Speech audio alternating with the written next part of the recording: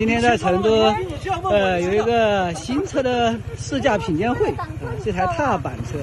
这个品牌我以前没听说过哈，叫 MV 卡吉瓦，这个车现在售价还没有公布，它这个还带了原厂的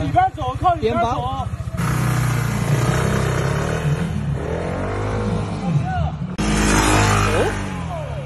现在小姐姐在骑，这车的动力平台来自于抠界摩托的 150cc 单缸水冷混合动力发动机，最大功率12.1个千瓦，最大扭矩14.6牛米。这个混合动力主要体现在刚起步的时候有8秒的电动助力，电喷系统来自于博世，点火是采用的脉冲点火的方式，启动的时候基本上是听不到声音的。车辆的配置还是比较丰富的，双通道 ABS、牵引力控制系统、七寸 TFT 全彩仪表，支持手机投屏啊、蓝牙连接等功能，在车头有。前置的行车记录仪，后悬挂为带气囊的双后减震，整车灯光为 LED 光源，自适应大灯，大灯为四个带透镜的 LED 大灯，还有发动机自动启停啊，无钥匙启动，风挡可以手动调节。这车的油箱比较大，有十三点五升，座桶的储物空间有十五升，车辆整备质量为一百五十公斤，柱高为七百八十毫米，车身颜色采用了一些撞色的设计，比较的显年轻化。